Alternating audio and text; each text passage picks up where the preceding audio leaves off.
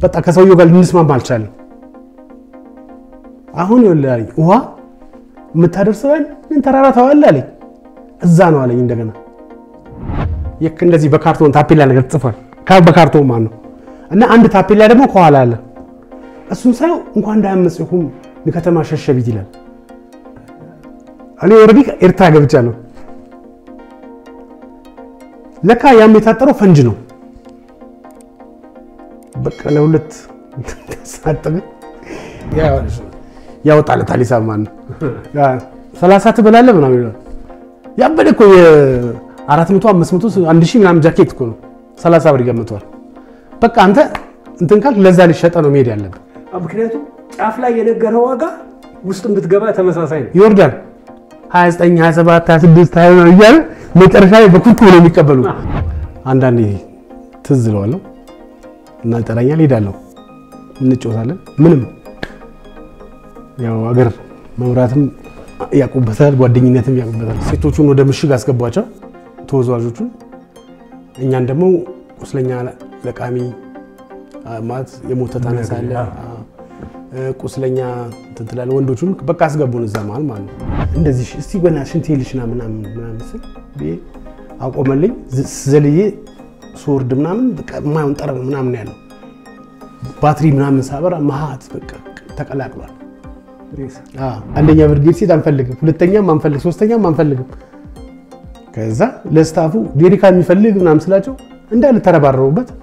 ውሃውን እየደፉ ጄሪካ ነው የሚወስዱት። እንደዛ ያን ሁሉ ገንዘብ ምናምን በቃ ተሟሙቼ እንደዛ ተጋግጬ ምናምን ከዛ እንደዚህ ምናምን ብዬ ካሴቴን ከለጠፍኩ በኋላ በሶስተኛው ቀን ዘፈን ሀገር እንትን ሲል ካሴቱ ሲወርቅ አስበው ስንት ነገር ነው የሚወርቅ። ቤት ወደቀ፣ ዘፈን ወድ እሱ ነው እንደዚህ ዘፋኙ ምናምን ማለት ሲል እንበዋ መጣና ግጥም ላይ ነው ላይ ሲል አይ አሸንፊያለሁ አልኩ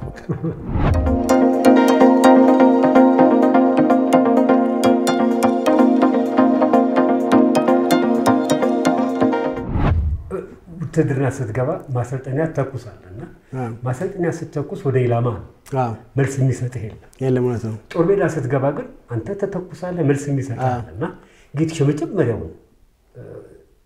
ጦር ሜዳ የዋልበትን ጊዜ እንዴት ያስታውሰዋል? ከባድ ነበር። እኔ በባድመ ውጊያ ላይ ነው የተሳተፉት። ወደ ወታደር ቤት ስገባም እኔ ልጅ ሆኜ ነው የገባሁት፣ በኪነት ነው የገባሁት። አጋጣሚ ባድመ ውጊያ ላይ በነበረበት ጊዜ ሴቶቹን ወደ ምሽግ አስገቧቸው ተወዛዋዦቹን፣ እኛን ደግሞ ቁስለኛ ለቃሚ ማለት የሞተ ታነሳለህ፣ ቁስለኛ እንትን ትላለህ። ወንዶቹን በቃ አስገቡን እዛ መሀል ማለት ነው። ጥይት ታደርሳለህ፣ ጥይት ታደርሳለህ፣ ውሃ ታደርሳለህ። በጣም ከባድ ማለት መዋጋት ይሻላል እንደውም ከዚህ ማለት ነው። እንደውም ነፍሱን ይማረውና አንድ የኔ አለቃ ነበር፣ መቶ አለቃ ጋሻው የሚባል ቁስለኛ ስናነሳ ተቆረጥን። ተለያያችሁ ከወገን ጋር? ተለያየን ማለት እኛ የሻዕቢያ ወታደር አለፈን በላያችን ላይ ሲል ጋሻው ይባላል እና እሱ ከኔ በፊትም ታጋይ ነበር። እሱ በትግሎ የሚያሳልፍ ነው ማለት ነው። ወስዶ እንደዚህ ሰዎች መሀል የሞቱት ሰዎች መሀል እንደዚህ እንትኔን ጭንቅላቴን ደፈቀኝ እና ተኛን። አለፉን በዛው ሰራዊቱ። ከዛ በኋላ ከደቂቃዎች በኋላ እንደገና ደግሞ በኛው ላይ እንደገና በሩምታ ወደ ኋላ ፈገፈገው። እንደዚህ አይነት አጋጣሚ አለ። እኔ አሁን ሌላ የሚያጋጠመኝ ምንድን ነው እንትን ውሃ ይዘህ ሂድ ተባልኩ። በመኪና ነው በመኪና ውሃ ይዘህ ሂድ አሉኝና ባድመ እንደተለቀቀ ነው። ከዛ ውሃ ይዤ በጀሪካን አላል ትልቁ ጀሪካን ሰማያዊ በሱ ሙሉ ሙሉ ሙሉ ሙሉ ተደርጎ መኪናው ጥቅጥቅ ብሏል። ሹፌሮቹ ሲቪል ናቸው። አሁን እንደ ማስገደድም ነው የኛ ገባ። አሁን ሹፌሮቹ ሲቪል ሲሆኑ እንዳይፈሩ ምናምን ማለት አሁን አንዳንድ ቦታ አልገባም ሊሉ ይችላሉ። እንደዚህ ነገር እንዳይፈጠር ምናምን እኛ እያናደፋፍርላቸዋለን ምናምን ምናምን በቃ ይዘን እንሄዳለን እና ባድመ ተለቋል። ባድመ አድርስ ነው የተባልኩት እኔ በቃ መንገድ ጀመርኩ። ያው ወታደር አይደል ያው ታውቋለህ መንገዱን ዝም ብለህ መሄድ ብቻ ነው።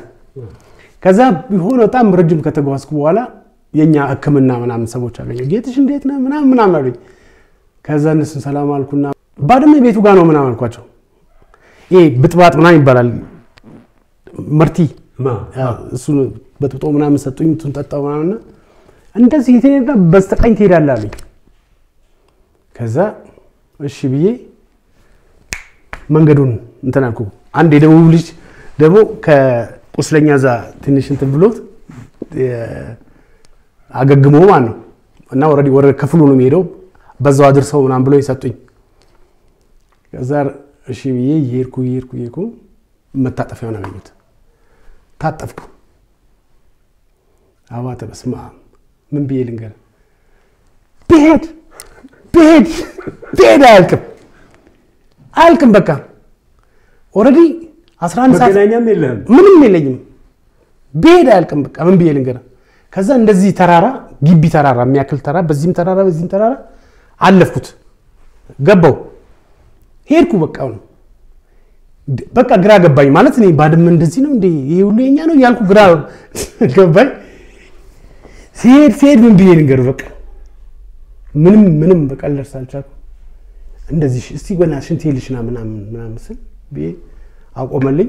ዘልዬ ስወርድ ምናምን በቃ የማይሆን ጠረን ምናምን ያለው ባትሪ ምናምን ሳበራ መሀት በቃ ተቀላቅሏል።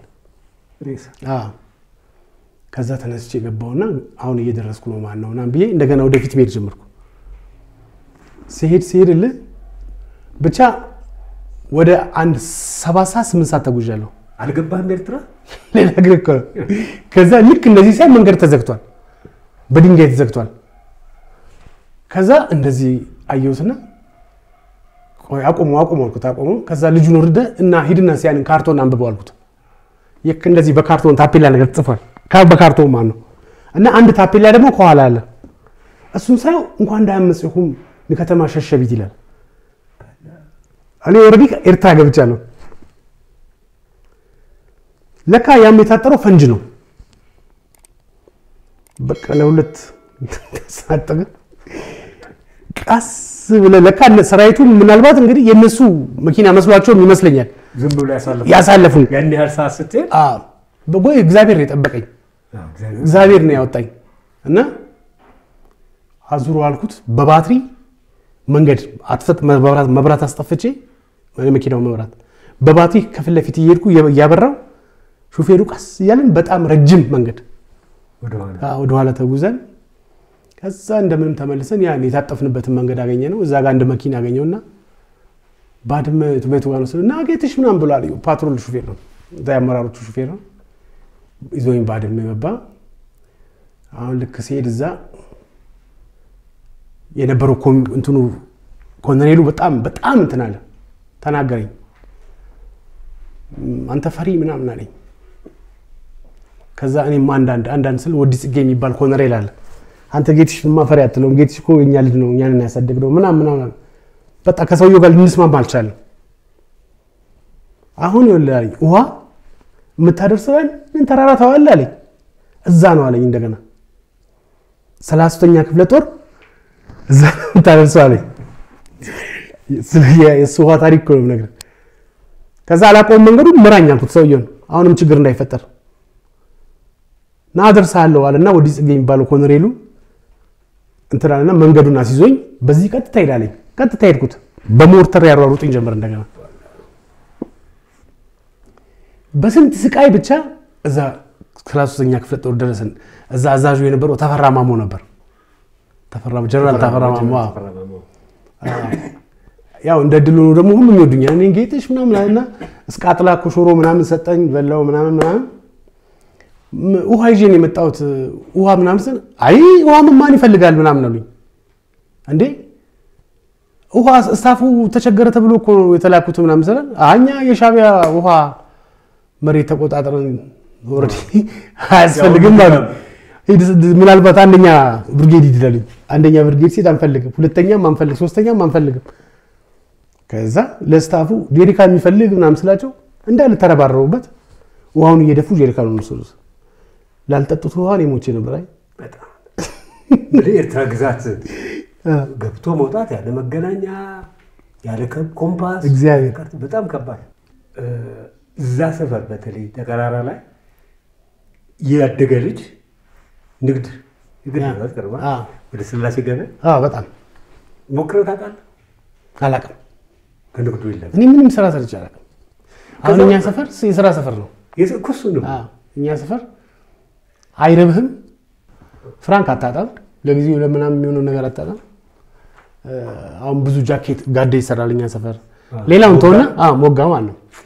ደርሰበታል አዎ እንዴ እንደዚህ ሰዎች ሰው ሲመጣ ትሮጥና ጋዴ ልታሰራ ነው ትለዋለህ። አዎ ይላል? ሰባ አምስት ሳንቲም ብርና ብር ከሀምሳ ባለጥልፍልፉ ብር ከሀምሳ ነው። በእኛ ጊዜ አምሳ ነበር። ለእኛ ደግሞ ሰባ አምስት ዝም ብሎ እንደዚህ መስመሩ ማለት ነው። እና አንተ አንድ ሰው ካመጣ ስሙን ይታሰብልሃል። አስበው። ከሰባ አምስቱ ስሙን ይታሰብልሃል። ስለዚህ ዝም ብለህ ሰው ለቅመህ የሆነ እስከ ሶስት ብር ምናምን ከሰበሰብክ ሶስት ብር በጣም ሁሉ ነገር አድርጎ በሰላም ትውላለህ። እንደዛ አለ። እ፣ ለምሳሌ አሁን ጃኬት ምናምን እኛ ሰፈር ይሸጣል። ያደቦ ቃና እንደዚህ የሀብታም ልጆች ምናምን ጃኬት ይመጣሉ። ከላይ ምናምን ጀምሮ ነው የሚጠብቋቸው በቃ። ካፋፏ ላይ ማለት ነው እ፣ ና ና ምናምን እያዘ- ስንት ያወጣለታል ሂሳብ ማለት ነው። ያ ሰላሳ ትበላለህ ምናምን ይላል። ያበደ እኮ የአራት መቶ አምስት መቶ አንድ ሺህ ምናምን ጃኬት እኮ ነው ሰላሳ ብር ይገምተዋል። በቃ አንተ እንትን ካልክ ለዛ ሊሸጠ ነው መሄድ ያለብህ። ምክንያቱም ጫፍ ላይ የነገረው ዋጋ ውስጥ ብትገባ ተመሳሳይ ነው። ይወርዳል 29 27 26 20 ነው እያለ መጨረሻ ላይ በኩርኩ ነው የሚቀበሉ እና የሚገርም ሰፈር ነው። ሰው ተሳስቦ የሚኖር በቃ ሁሉም ኑሮ ደረጃው ምንም የተራራቀ አይደለም። ሁሉም ለፍቶ የሚኖር ህዝብ ነው።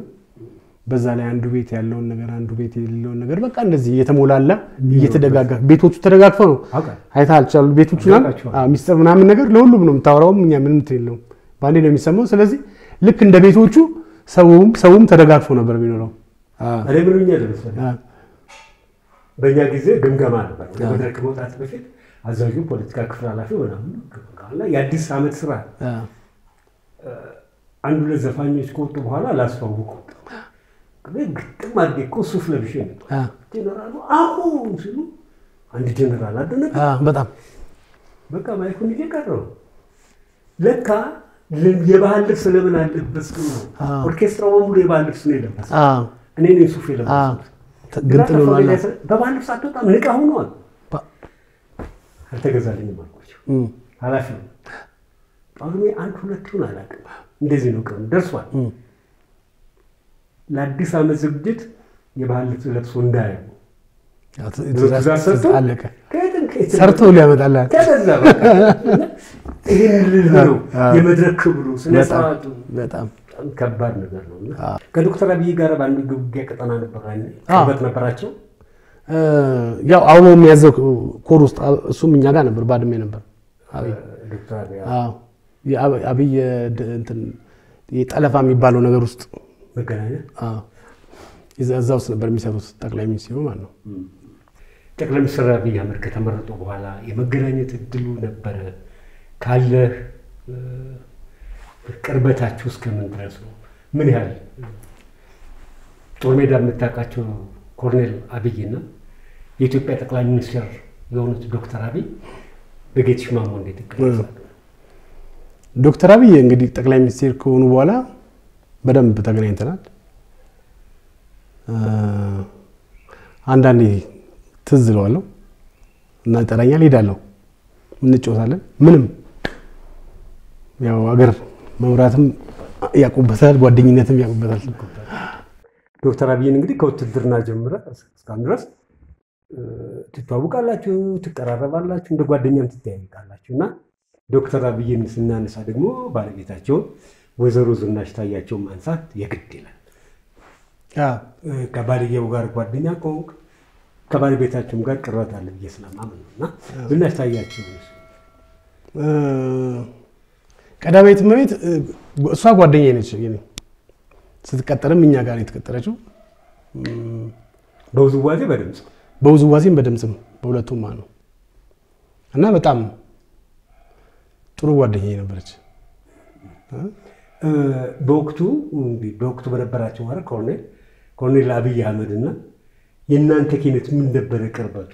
ወይስ አንድ ካምፕ ውስጥ ነበራችሁ?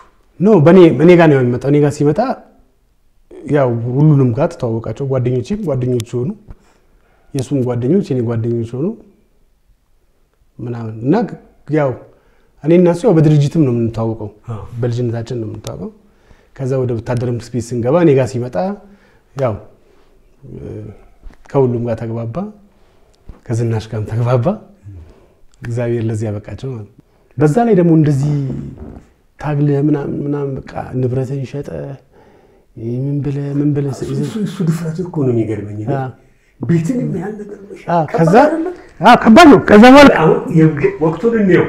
ያን ጊዜ ቢሆን ያን ጊዜ ብስልህ በነ ኤፍሬም በነ ፀሐዬ በነ ምናምን ዘመን ቢሆን ሰው ቅጂም ቢሆን ቅጂ ቢገዛ ብዙ original አ። ይገዛ ነበር። እናንተ ወደ አልበም ስራ በመጣችሁበት ጊዜ ግን በተለይ ሲዲ ቴክኖሎጂ እንትን ብሏል። በህገ ወጥ ነው እና አተርፋለሁ ብሎ አምኖ ቤት ሸጡ። ከባድ ውሳኔ ነው። አ፣ አሁን እኮ ለሙያው እንትን ፍቅርም ስላለኝና ስለኖርኩበት አማራጭም ስለሌለኝ ነው ማለት ነው። ገባ እንጂ ለገንዘብ እኮ ቤቱ ነው ገንዘብ ባይዘው አዎ አሁን ቤቱም ያ እዛ የሸጥኩት ቤት ላይ በጣም ከባድ ብር ነው። አሁን በአሁን ብር ላይ እስከ 17 ሚሊዮን ብር ያወጣል። ስንት ሸጥኩ ያለ 700 ምናምን ሺህ ነው። ምን ያህል እርግጠኛ ነበርክ ግን? ምን ያን ቤት ሰባት መቶ ሺህ ብር የሚሸጠ አልበምህን ሰርተህ ጨረስክ። ያወጣሁትን ወጪ በመተ የኪነ ጥበብ ሰው ገንዘቡን አያስብም። በቃ እንደዛ ነው። ገንዘብን አላሰብኩትም። ግን ተካለህ ምን ቤት እኔ የለኝም። ይሄ አሁን ተከራየሁት ቤት ነው እንጂ እኔ ቤት አይደለም? በኪሳራ ነው ያለቀው። አረ በጣም ነው ያከሰረኝ እንጂ ቲ በጣም ነው ያከሰረኝ። እንደውም በጣም የሚያስቀው እኮ ምን እንደው ታውቃለህ?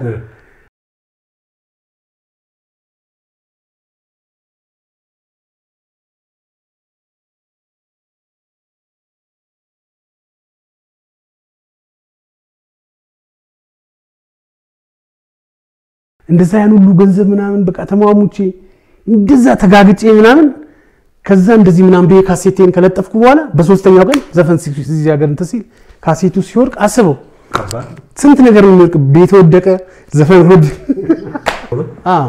አምስት ውስጥ ገብተዋል። እዛ seven star አልጋ ይዘውልሃል። seven star ነው ተሄዱስ ማለት ነው። አልጋ ምናምን አሉ ምግብ ምናምን ትኬት ቆርጦልሃል። ምንም ወጪ የለብን ማለት እኔ ደግሞ በጣም ደብሮኝ ቁጭ ብያለሁ ማለት በከባድ ድብርት ማለት ነው። ይህን የተሸለምክበት ማለት ነው። በከባድ ትምህርት ቁጭ ብዬ ከዛ ለምን አትሄድም አለችኝ ሚስቴ። ለምን ሂድና ዝም ብለህ ንፋስ ተቀብለና ተው እባክህ ችግር የለውም አንተ አንደኛው ወጣ አልወጣ ምን አገባ ሂድን ብልና ነፋስ ተቀበልና ና አለችኝ። እሺ አልኩ ሄድኩ። ከዛ ሲሄድ ምናምን ዘጠኝ መቶ ምናምን ዘፋኝ ነው አፍሪካ ውስጥ ለፊልም ማጀብ አዎ በጣም በቃ ትላልቅ የቱምቡክቱ ፊልም ምናምን ያለበት ማለት ነው። በጣም ትላልቅ ዘፋኞች አፍሪካ ውስጥ ያሉ ዘፋኞች ላይ የተወዳደሩት አምስቱ ውስጥ መግባቴ እኔ እንጃ አላውቅም። ሰርከስ ነው የመሰለኝ። ከዛ እዛ ሄድ ደቡብ አፍሪካ ምናምን ከሳምሶን ቤቢ ጋር ምናምን ልብሳችን አበሻ ልብሳችን ለብሰን ምናምን ልክ ስንወጣ actor ኦቹ ታውቃለህ? እዛ የአፍሪካ ሌላ ሀገር actor ኦች ያ። እዛ ውድድሩ ላይ የመጡት በሊሞዚን ነው የሚሄዱት፣ በትላልቅ ሊሞዚን ከዛ እኛ ቆመን እ ምን ትቆማለህ? walk እናድርጋ ምናምን ተባብለን walk እያደረግን አዳራሽ ውስጥ ሄድን። በሊሞዚን በከባድ ትላልቅ guard ኦች ምናምን ለእነሱ ሌላ ነገር ነው። በቃ እሱ award ፒሚ ፖርት ኤልዛቤት የሚባል ሀገር ነው። ከዛ አስበው እኔ ምንም እንትን አላሰብኩትም። አብሮኝ ያሉትም ሰዎች እንደማሸንፍ አይገምቱም። ለምን በጣም ትላልቅ ዴ አይ ናይጄሪያዎች እኮ ዘፈን ከባድ ናቸው ምናምን ነው የሚሉኝ እንጂ ፊልም ኢንዱስትሪያቸው እንጂ ትሸንፋለህ አላለኝም።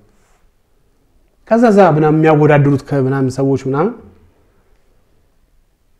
እንደዚህ ከቴዲ ጋር አንዷ ሴትዮ ጥቁሮች ከቴዲ ጋር ቆማ ምን እያወራች እሱ ነው እንደዚህ ዘፋኙ ምናምን ማለት ሲል እንበዋ መጣና ግጥም ላይ ነው ላይ ሲል አይ አሸንፊያለሁ አልኩ። በቃ ማለት ሴትዮ ለምን እንዴት ፊል አደረገች? ያው ተተርጉሞ ተሰጥቷል። አያላለች ጉድዋን የተንደወደቀች የሚል አለ እንትን ሟርተኛ ከባድ ዘፈን ከባድ ነው እና award ኡ ላይ sound track 2015 ምናምን ምናምን ጌትሽ ማሞ ኢትዮጵያ ምናምን አይባልም። ቲ በኢየሱስ ስም ደነገጥኩ። እኔ ደንግጬ በቃ ወጣሁና ምንድን ነው የምትለው ምናምን ሲሉኝ እሱ ያሰበውን ሲሰጠኝ እኔ የጠየኩት አስጠላኝ አልኳት። ሌላ ምንም አላልኩም። በቃ እግዚአብሔር ከዛ ቀን አረገኝ። ማን ነው በጣም አለ። ቀን አረገኝ።